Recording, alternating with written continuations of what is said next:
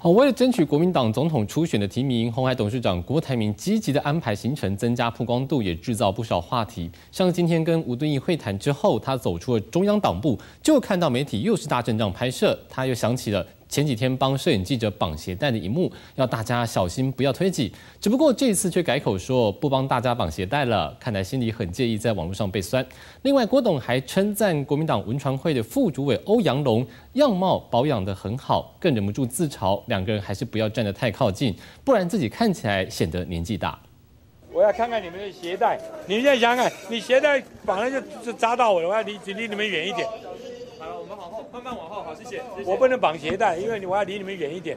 你让我过好不好？要大阵仗媒体小心别跌倒。红海董事长郭台铭这回不帮忙绑鞋带，自嘲日前弯下腰主动帮忙绑鞋带掀起的讨论。就连看到身旁的国民党文传会副主委欧阳龙，郭董内心也有话想说。要跟欧阳同学啊，对，欧阳电视好看，也好看。好，不要跟你在一起，变变在一起我就显得老。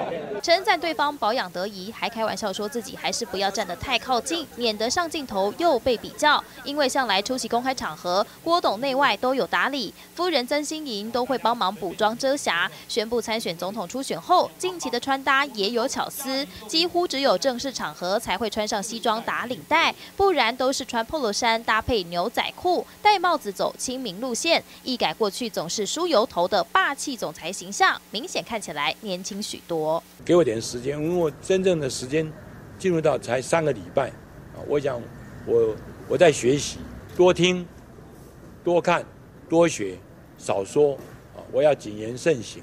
好，谢谢各位，谢谢各位，给各位鞠躬。